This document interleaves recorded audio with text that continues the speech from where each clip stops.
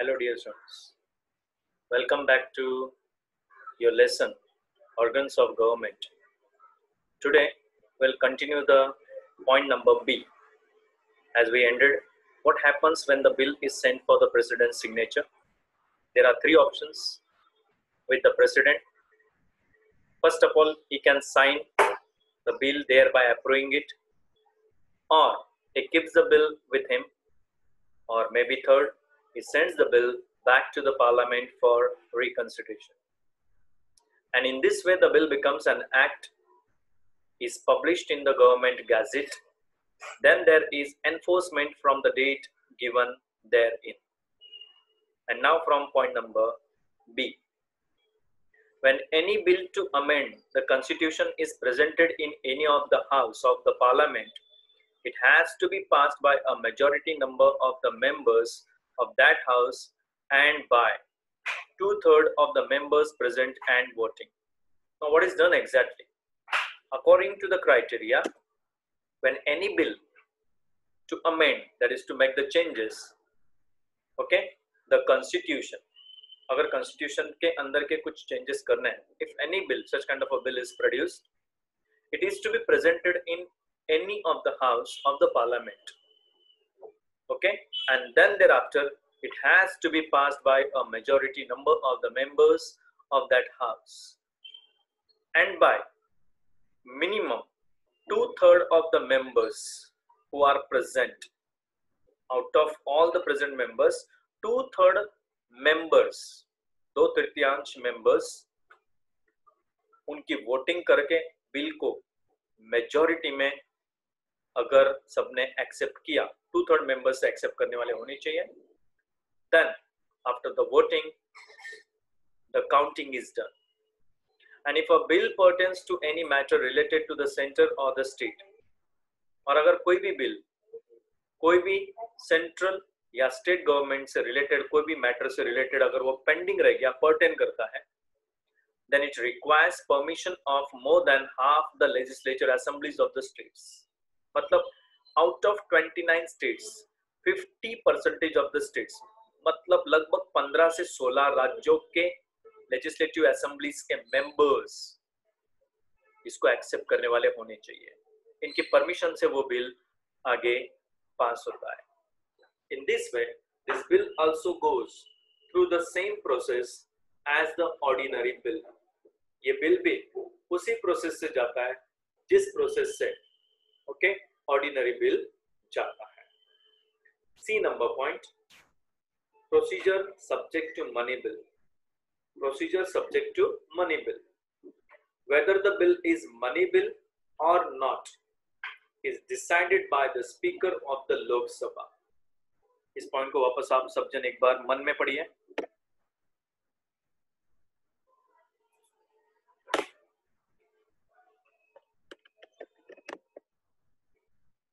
अगर पढ़ लिया है तो उसका मीनिंग समझे अभी। Procedure subject to money bill में क्या होता है? Whether the bill is money bill or not ये बिल पैसों के मामले को लेकर है कि नहीं? First of all it is decided by the speaker of the Lok Sabha Lok Sabha के स्पीकर इसको पहले डिसाइड करता है। A bill containing the recommendations of the budget or the financial is called a, a money bill. Any bill where the ministry or the ministers or the legislative assembly members of the state are recommending the budget. Budget को लेकर ये मामला है या फिर financial matter है? कोई पैसा, कोई डिमांड है, खास करके अपने स्टेट को बढ़ावा देने के लिए? Such a bill which is related to the money is called as a money bill जो सेंट्रल गवर्नमेंट से पास करवाया जाता है। The budget of the center is presented around 28th of February in the Lok Sabha. और लगभग इस budget का जो सेशन होता है, लगभग 28 फरवरी को लोकसभा में प्रस्तुत किया जाता है। Mostly by the finance minister और फाइनेंस डिपार्टमेंट इसको फाइनेंस मिनिस्टर जो फाइनेंस डिपार्टमेंट के मेन हेड होता है he will read out the bill he will present the budget और हर राज्य को एक स्पेसिफिक अमाउंट जो उनकी, उन्होंने डिमांड रखी थी, उसमें से कितना सेंक्शन होगा और कितना नहीं that will be also decided by the finance minister all the money bills are first presented in the Lok Sabha which pass through the following process सभी प्रकार के जो मनी बिल्स होते हैं they are all presented in the Lok Sabha then which pass through the following process money bill कुछ इस तरह से पास किया जाता है. First A preliminary discussion is carried out on the money bill presented in the Lok Sabha. सर्वप्रथम एक चर्चा होती है ऑन द मनी बिल कितनी रकम है वहाँ पर ये बनने जा रहा है वो बनने जा रहा है ऐसा नया इंफ्रास्ट्रक्चर है वो सब कुछ लोकसभा में आपको प्रस्तुत करना होता है डायरेक्टली आपने डिमांड रख दिन पैसे मिल गए ये कोई घर की तिजोरी नहीं है मनी बिल को पढ़ा जाएगा लोकसभा में किस चीज़ के लिए आपने कितनी अमाउंट सेंट्रल गवर्नमेंट से डिमांड की है? Second the expenses mentioned in the budget are discussed upon जो भी खर्चे हैं एक्सपेंसेस हैं, जो बजट में आपने मेंशन किए हैं, उनके ऊपर चर्चा होगी।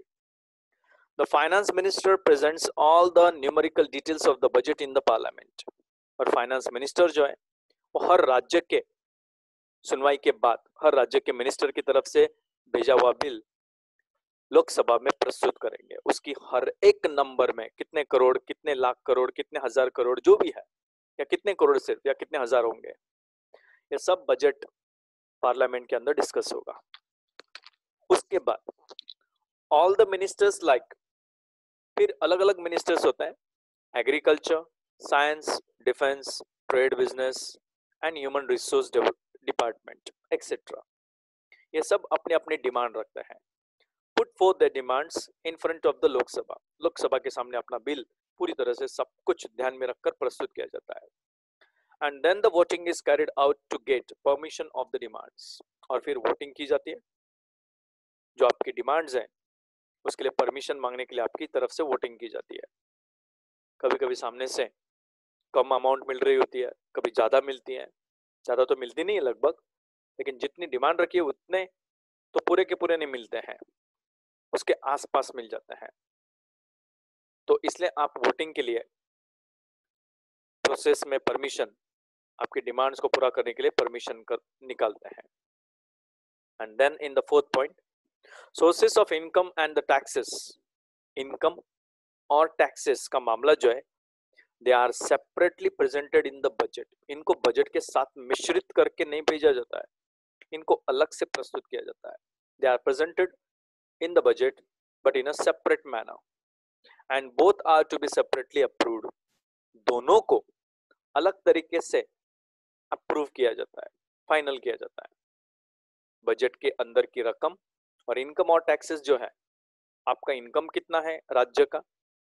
आप कितने टैक्सेस लेने वाले हैं? ये सब कुछ सेपरेटली अप्रूव होगा। फिर उस प्रोसेस के बाद the bill approved in the Lok Sabha first अगर वो अप्रूव हो गया लोकसभा में, पहले then it is send to Rajya Sabha for recommendations वहाँ पर कोई सजेशंस है सम रिकमेंडेशंस है, कुछ बदलाव करने हैं, वो राज्यसभा में भी पढ़ा जाएगा। सीधी सीधी रकम आपके हाथ में नहीं दी जाएगी। इसके लिए बहुत एडवांस में तैयारी की जाती है। Then after that what happens जब वो राज्यसभा में पहुँचता है bill The Rajya Sabha has to return it to the Lok Sabha with necessary recommendations within 14 days. 14 दिन के अंदर राज्यसभा को उस बिल को लोकसभा में वापस जो भी फेरफार करने जो भी रिकमेंडेशन है जो भी आपको लग रहा है कि बदलाव करने चाहिए थे all this recommendation must be send back within fourteen days और अगर ऐसा नहीं किया आपने तो वो बिल फाइनल हो जाएगा Lok Sabha can either accept Lok Sabha उसको रिकमेंडेशंस के साथ एक तो एक्सेप्ट कर लेगा, या तो रिजेक्ट कर देगा। रिजेक्ट द टोटल जो टोटल आपने मेंशन किए हैं। और partial recommendations of the Rajya Sabha या तो फिर राज्यसभा के कुछ फेरफार किए हुए चेंजेस में से कुछ कुछ एक्सेप्ट होंगे कुछ कुछ रिजेक्ट हो जाएँगे। आया? जो जो पार्शियल रिकमेंडेशंस है, उनको एक तो एक्सेप्ट कर लेगा, या तो फिर टोटल सब कुछ अच्छा लगा तो सबका सब पूरा का पूरा बिल पास हो जाएगा। ना if a money bill is not returned to the Lok Sabha within 14 days by the Rajya अगर राज्यसभा ने चौदह दिन में उसको वापस नहीं किया चेंजेस करके तो पता है मैंने आपको क्या बताया? The bill is considered to have been passed by the Rajya Sabha तो ऐसे माना जाता है कि राज्यसभा को ये मंजूर है और अब इसके ऊपर मोहर लग जाएगी। If the Lok Sabha accept the recommendations of the Rajya Sabha after the bill is back to the return to the Lok Sabha, when the Lok Sabha is thinking that it should be accepted according to the recommendations of the Rajya Sabha, Rajya Sabha के बदलाव के अनुसार उसे accept कर लेना चाहिए then the bill is considered to have been passed by both the houses of the parliament तो ऐसा माना जाता है दोनों houses में से bill parliament के पास हो चुका है और उतनी रकम हर राज्य के उस मंत्री को सौंप दी जाती है बट लेकिन अगर इसमें थोड़ी भी गड़बड़ हो गई but if the Lok Sabha rejects लेकिन लोकसभा ने अगर इसको रिजेक्ट कर दिया, जो रिकमेंडेशंस राज्यसभा की तरफ़ से करने को कहे गए थे and the bill is again passed in the Lok Sabha और उस बिल को वापस पढ़ा जाएगा, कि ऐसे ऐसे रिकमेंडेशन से लेकिन हमें मंजूर नहीं है तो उसको वापस पढ़ा जाएगा तो उस वक्त क्या होता है? The money bill is deem to have been passed by both the houses of the parliament उसको पढ़ के सिर्फ़ ऐसे मंजूर किया जाता है, जैसे दोनों में से वो पास होकर आ गया हो। फिर वो राज्यसभा के बताए हुए चेंजेस को एक्सेप्ट करे लोकसभा या ना करे। लेकिन फिर भी लोकसभा में एक बार वापस पढ़ने के बाद उससे पास करके आगे भेज दिया जाता है। And hence in the matter of the money bill the Rajya Sabha has a limited powers सादी भाषा में, राज्यसभा में वो बिल पास करे ना करे उसके ऊपर मोहर लगाए, ना लगाए। उसमें बदलाव करे, ना करे। रकम ज़्यादा करे, कम करे। कोई फ़र्क नहीं पड़ेगा। वो सिर्फ़ मान, सम्मान रखने के लिए उनके पास भेजा जाता है। लोकसभा में उसको बाय हुक और क्रुक पास हो ही जाता है। So who is having the more powers Lok Sabha not Rajya Sabha. Though we know that Rajya Sabha is the permanent house फिर भी उसको अधिकार नहीं है। And after the money bill is passed by both the houses of the parliament, it is sent to the president for his assent. फिर signature और मोहर लगने के लिए प्रेसिडेंट के पास भेजा जाता है बिल को आगे। The president has to sign the money bill president को ये बिल साइन करना ही पड़ता है। If the budget is not passed in the house लेकिन बजट अगर हाउस में पास नहीं हुआ, राज्यसभा या लोकसभा में, खास करके लोकसभा में then the government has to resign अगर बजट का बिल आपने पास नहीं किया, वो रकम देने से इनकार किया तो ज़ोर का झटका लग सकता है गवर्नमेंट को, जो उस वक्त काम कर रही होती है। उस गवर्नमेंट को रिजाइन करना पड़ता है।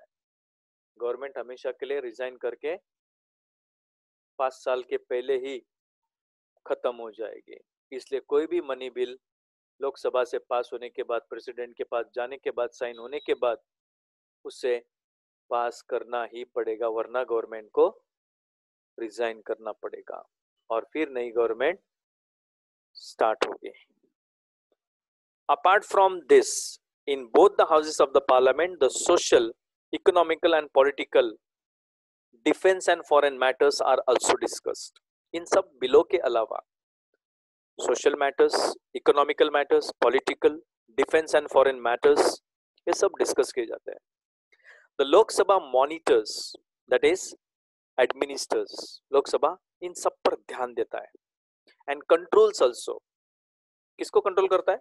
द वर्किंग्स ऑफ़ एग्जीक्यूटिव जो हमने स्टार्टिंग में भी पढ़ा था cabinet of ministers and the bureaucrats जो अधिकारी होते हैं ब्यूरोक्रेट्स जो एग्ज़ाम पास होकर बैठे हुए हैं, इनको भी कंट्रोल में रखता है। या ऑर्गेनाइजेशंस बोल सकते हैं It is the work of the elected members to see that the funds of the public are utilized properly. बड़े दुख के साथ ये कहना पड़ रहा है, लेकिन सच बात है। हम जो इनकम टैक्स वगैरह जो भी फंड गवर्नमेंट को पे करते हैं, इसका सही ढंग से इन फंड्स का ओके जो पब्लिक ने जमा किया हुआ है, इसका सही ढंग से उपयोग किया जाना चाहिए। मुझे आगे बताने की ज़रूरत नहीं है, कैसा उपयोग होता है। लेकिन लगभग सही उपयोग होता है, ये हम एक्सेप्ट करके चलेंगे। क्योंकि वोटिंग हमने की थी, चुनकर हम लाए थे। हाथों में सौंप दी हुई सत्ता जो है वो हमने की थी। So it is are accepting matter we to accept it. lok sabha has a direct control over the use of public funds. इस लाइन को अगर हो सके तो अंडरलाइन करके रखना आपकी टेक्स्ट बुक में लोकसभा के पूरे के पूरे मिनिस्टर्स को पब्लिक के आए हुए फंड्स का पूरे पूर्व उपयोग करने का पूरा डायरेक्ट कंट्रोल अधिकार है। डायरेक्ट कंट्रोल वो कर सकते हैं कि जो फंड है, उसका क्या उपयोग करें हम? फिर वो कौन से बिल कहाँ पर कैसे कैसे यूज़ करने वाले हैं? डोंट नो लेकिन वो पेश किए जाते हैं। Without the consent of the houses of the parliament no new taxes can be levied और लीव्ड याद रखना इस बात को। जब तक हाउसेस की कंसेंट या परमिशन नहीं लोगे आप पार्लियामेंट के अंदर तो नए प्रकार के टैक्सेस आपको लोगों पर लगाने का अधिकार नहीं होगा। कोई भी नए प्रकार का टैक्स आंधे धुन नहीं लगाया जाएगा। और any improvement in the existing taxes can be done या तो फिर किसी राज्य को लगा कि वसूल कर लेते हैं और एक नया टैक्स चालू कर देते हैं। ऐसा करने का अधिकार किसी भी राज्य या उसके मंत्री को नहीं है। इसको पहले डिस्कस किया जाएगा। हाउसेस की परमिशंस होंगी, लोकसभा और राज्यसभा के मेंबर्स की परमिशन होगी और फिर उसके अंदर जो भी चेंजेस करने हैं, वो कर सकते हैं आप। उसके बिना डायरेक्टली आप अंधेधुन कंट्रोल नहीं कर सकते उसको। The houses of the parliament are called as the जो हाउसेस होते हैं, लोकसभा एंड राज्यसभा। पार्लियामेंट के दोनों हाउसेस इनको और एक चीज़ कहा जाता है। What are they called as the custodians of the public funds as it controls the functioning of the executive. उनको कस्टोडियंस कहा जाता है। पब्लिक फंड्स के ऊपर अधिकार रखने का यस मामला। Okay they are the custodians they can use the public funds as it controls क्योंकि ये पार्लियामेंट ही कंट्रोल करता है उसके ऊपर। एग्जीक्यूटिव की एग्जीक्यूटिव की जो फंक्शनिंग है, जिस तरह से वो फ़ंक्शन करते हैं, जिस तरह से वो कामकाज संभालते हैं, इसके ऊपर पूरा पूरा अधिकार उन कस्टडियंस का होता है? मतलब हाउसेस का होता है। Besides this the parliament has the power to remove the president, vice president, chief justice of the supreme court as well as the high court. Even chief election commission इनको भी हटाने का अधिकार पूरा पूरा पार्लियामेंट को होता है। किस किस को हटा सकता है पार्लियामेंट प्रेसिडेंट को वाइस प्रेसिडेंट को chief justice of the supreme court को हाई कोर्ट के भी जस्टिस को या चीफ इलेक्शन कमीशन को ऑडिटर जनरल और अटर्नी जनरल ये सब जो पोस्ट है हायर लेवल के, इन सबको हटाने का अधिकार पार्लियामेंट को होता है। Under the charge of proven misbehaviour लेकिन आरोप लगा और मिसबिहेवियर किसी का नज़र आया तो ऐसे आंधेधुन मन चाहे वैसे डायरेक्टली हटा नहीं सकते आप। या तो फिर ऐसा अगर आपने डिक्लेयर कर दिया इन एफिशिएंसी लाइबल नहीं है। उसके अंदर पोटेंशियलिटी कम है। वो कुछ डिसीज़न नहीं ले पा रहा है, इनमें से कोई एक व्यक्ति। या तो फिर, और violation of the constitution constitution का उल्लंघन कर रहा है ओके लेकिन इसके लिए एक प्रोसेस है। कौन सी? Through the process of impeachment impeachment की प्रोसेस के थ्रू ही डायरेक्टली निकाल सकते हैं आप इसको। प्रूफ करना होगा आपको दोनों हाउसेस में। और वो भी स्पेशल मेजोरिटी के वोटिंग से सो so, वो इम्पीचमेंट की प्रोसेस कोई साधारण प्रोसेस नहीं है। बहुत लंबी प्रोसेस होती है। Now coming to the next point legislature at the state level state level पर लेजिस्लेचर कैसे काम करता है? First a okay legislative assembly state has a legislature and it is called as legislative assembly. हर राज्य में एक गृह होता है, एक हाउस होता है। उस लेजिस्लेचर के हाउस को लेजिस्लेटिव असेंबली कहते हैं, हर राज्य में लगभग। ओके कुछ ऐसे राज्य के जिनको कंबाइंड मिलाकर एक सिंगल लेजिस्लेटिव असेंबली है। Legislative assembly is the lower house L L ऐसा याद रखने के लिए मैंने बोला था। और ये लेजिस्लेटिव असेंबली जो होती है स्टेट में, वो लोअर हाउस होता है। ओके लेजिस्लेटिव काउंसिल अब तक हमने सेंट्रल गवर्नमेंट के दो हाउसेस की बात की, लोकसभा, राज्यसभा। ऐसा मान के चलिए लोअर हाउस लोकसभा था। उसी तरह से लेजिस्लेटिव असेंबली लोअर हाउस होता है स्टेट में। और लेजिस्लेटिव काउंसिल ओके परिषद, विधान परिषद, विधानसभा, विधान परिषद। ये दोनों में बहुत फ़र्क है। उसी तरह से राज्यसभा ओके जैसे एक दूसरा हाउस होता है, उसी तरह से इधर भी लेजिस्लेटिव काउंसिल होता है, परिषद कहते हैं उसको। The other house of the legislature is called the legislative council अब काउंसिल बिहार, महाराष्ट्र, कर्नाटका, उत्तर प्रदेश, तमिलनाडु एक्सेट्रा इनमें लेजिस्लेटिव काउंसिल पहले से है। स्टेट्स हैव टू हाउसेस वो स्टेट पे डिपेंड करता है कि उसको काउंसिल रखनी है कि नहीं रखनी है। लेकिन उनके टू हाउसेस होता है। There the legislative council is the upper house अगर उस राज्य में लेजिस्लेटिव काउंसिल है तो उसे अपर हाउस कहा जाता है।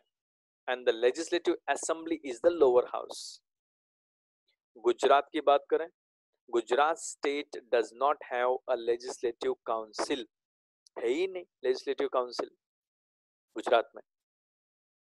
इससे क्या फ़ायदा होता? लेजिस्लेटिव काउंसिल में से भी बिल पास करना पड़ता आपको। अगर वो असेंबली के अंदर बिल पास हो रहा है तो काउंसिल में भी आपको ये बिल पढ़ना पड़ता। मगजमारी नहीं है। सीधा सीधा असेंबली से पास कर दो, बात खत्म। Various states have different numbers of members of the legislative assembly various states have अलग अलग नंबर के लेजिस्लेटिव असेंबली के मेंबर्स होंगे एक जैसे नहीं होते सभी लेजिस्लेटिव असेंबली में per the provision in the constitution the minimum number of the members of the legislative assembly is 60 कम से कम 60 मेंबर्स होने चाहिए कम से कम 60 मेंबर्स लेजिस्लेटिव असेंबली के and the maximum number of member is 500 or maximum number 500 के आसपास होगा। अब इन सबको पगार कैलकुलेट कर लो। हर एक राज्य में। 60 मल्टीप्लाई बाय 29 ये लेजिस्लेटिव असेंबली के कम से कम मेंबर्स है। ना the number of members of Gujarat legislative assembly is 182 182 members हैं लेजिस्लेटिव असेंबली के गुजरात के अंदर, जो फेरफार करके अगर कंस्टिट्यूएंसी बढ़ जाती है तो नंबर भी बदल जाएगा। 182 का 84 भी हो सकता है, या फिर चेंज भी हो सकता है, कम भी हो सकता है। दो लेजिस्लेटिव असेंबलीज सॉरी कंस्टिट्यूएंसीज अगर मिक्स कर दी तो वो 182 का 180 भी हो सकता है 81 भी हो सकता है। तो वो कंस्टिट्यूएंसी कैसी होनी चाहिए, वो डिसाइड होना चाहिए पहले। जैसे उधना लिम्बायत सूरत में जो ये कंस्टिट्यूएंसी है तो ये डिपेंड करेगा कि कितनी कंस्टिट्यूएंसी रखनी है। एक, दो, तीन, चार, ऐसे।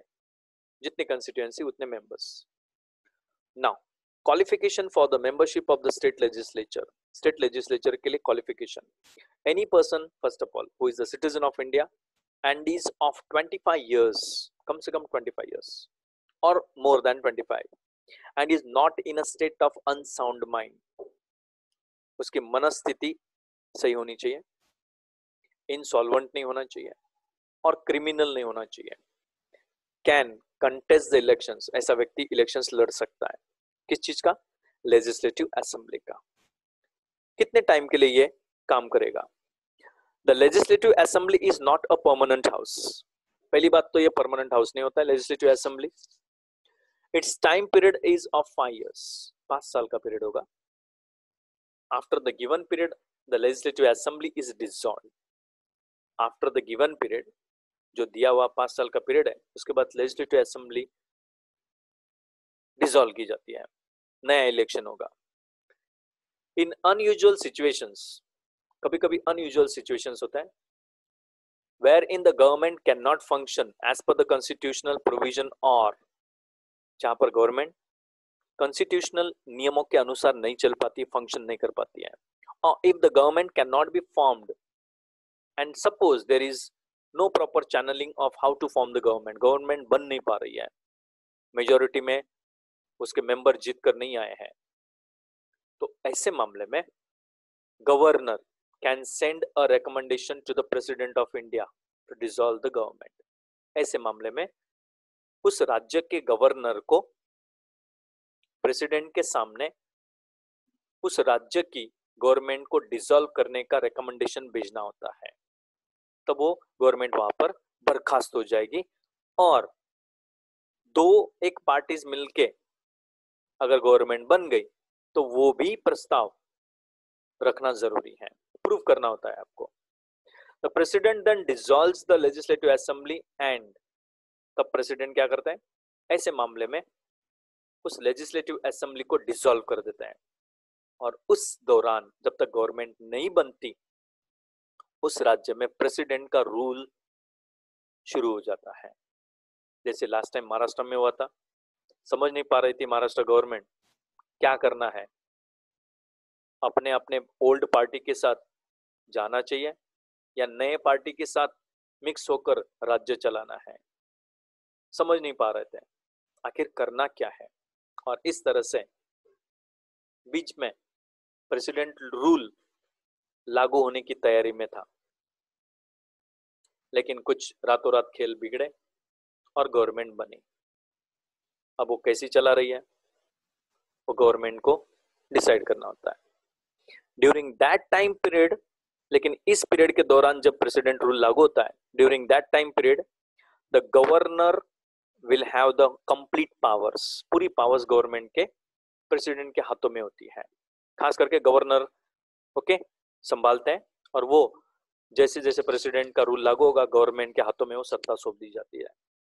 So he administers the state for the purpose of the smooth functioning of the legislative assembly speaker and deputy speaker ये दो व्यक्ति लेजिस्लेटिव असेंबली के अंदर स्पीकर और deputy speaker they are elected by the members from amongst themselves और उनके बीच में से जो जीते हुए लेजिस्लेटिव असेंबली के मेंबर्स होते हैं उनके बीच में से ये दो स्पीकर और डेप्यूटी स्पीकर चुने जाते हैं and now coming to the last point of your lesson of that particular yes state legislative assembly the members of the legislative council are elected from among the institutions of the local self governance आपको ये बात ध्यान में आनी चाहिए कि legislative council जो होता है, परिषद ओके विधान परिषद जो होता है, इसके अंदर जो मेंबर्स चुने जाते हैं तो वो कहाँ से चुने जाते हैं? वो ध्यान देना। They are elected from among the institutions of local self governance local self governance के? या फिर registered graduates teachers of secondary and higher secondary by electorates इनको भी चुना जा सकता है लेजिस्लेटिव काउंसिल का मेंबर बनाने के लिए. And to be eligible as a member of the legislative council legislative council का एक एलिजिबल मेंबर अगर आपको बनना है, okay? The candidate should be of 30 years और मोर कम से कम 30 साल या 30 साल से ज़्यादा उम्र का व्यक्ति होना चाहिए। And must be a citizen of India ये बहुत ज़रूरी सेंटेंस है। सिटीजन होना ही चाहिए। The legislative council is a permanent house सबसे इंपॉर्टेंट बात। जैसे राज्यसभा सेंट्रल गवर्नमेंट में परमानेंट हाउस होता है, वैसे स्टेट लेवल पर लेजिस्लेटिव काउंसिल परमानेंट हाउस होता है। लाइक द राज्यसभा राज्यसभा की तरह each of its members gets elected for a term of six years Rajya Sabha की तरह यहाँ पर भी लेजिस्लेटिव काउंसिल में भी छह साल के लिए चुने जाते हैं।